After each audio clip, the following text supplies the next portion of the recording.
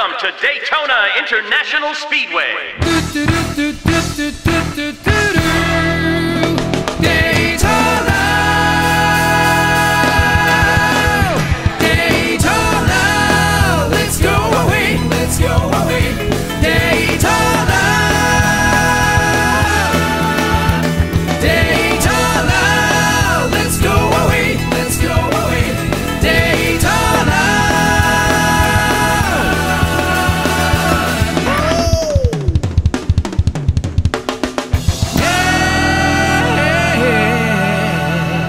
and gentlemen, start your engines!